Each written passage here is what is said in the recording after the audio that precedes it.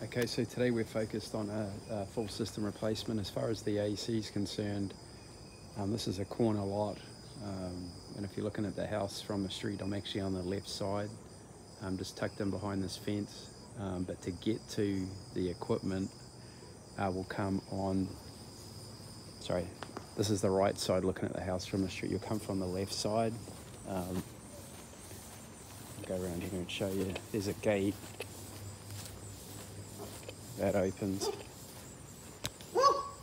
Yeah, nice wide gate.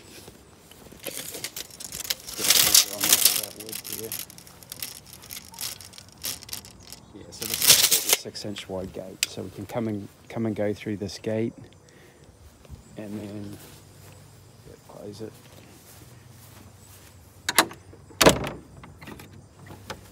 And then as far as uh, the unit is concerned, it's on a rack at the moment. A little bit of a slope around here. Also a little bit of erosion as well. So I think we'll actually come back with a rack. A new rack. You can see this one's down low. New fuse disconnect, new whip. And then I haven't been inside the basement yet, but